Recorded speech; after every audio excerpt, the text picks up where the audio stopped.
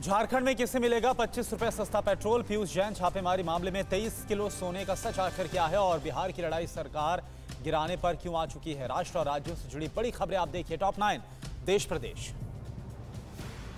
झारखंड में हेमंत सरकार के दो साल पूरे होने पर बड़ा ऐलान किया गया। सीएम हेमंत सोरेन ने 26 जनवरी से पेट्रोल की कीमत 25 रुपए प्रति लीटर घटाने का ऐलान किया। हालाँकि ये फ़ायदा सिर्फ़ दो पहिया वाहन के चालकों को मिलेगा।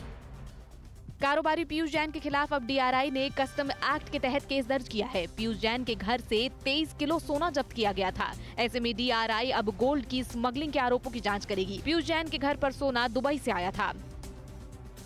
पीयूष जैन के अरेस्ट मेमो की एक्सक्लूसिव डिटेल के मुताबिक उसकी कंपनियों में केवल 21 करोड़ का लेन देन दिखाया गया है। पीयूष की कंपनियों में चार साल में एक करोड़ का लेन देन हुआ। पीयूष जैन ने हर साल 45 करोड़ की जीएसटी की चोरी की।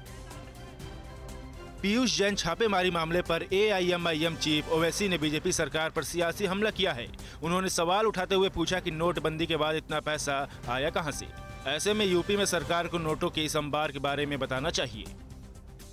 कानपुर में दो और कारोबारियों के यहाँ जीएसटी की रेट पड़ी है। मयूर वनस्पति के मालिक सुनील गुप्ता और शिखर पान मसाला के मालिक प्रवीण जैन के ठिकाने पर छापा पड़ा है। जीएसटी इंटेलिजेंस की टीम ने छापेमारी कर कई दस्तावेज़ जब्त किए हैं।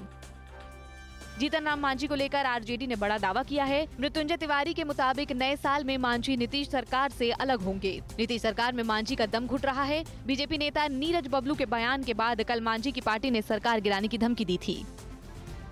कोरोना धर्म नहीं देखता, जात नहीं देखता, अमीर, गरीब, ऊंच, नीच नहीं देखता कोरोना। कोरोना सिर्फ़ मौका देखता है। लेकिन आप उसे मौका मत दीजिए। बस इतना कीजिए। जब कभी दफ्तर से, बाज़ार से घर लौटिए तो इतना ख्याल ज़रूर रखिए, कहीं आपके साथ कोरोना आपके घर तो नहीं जा रहा। भूलिए मत, कोरोना अभी ज़िंदा है।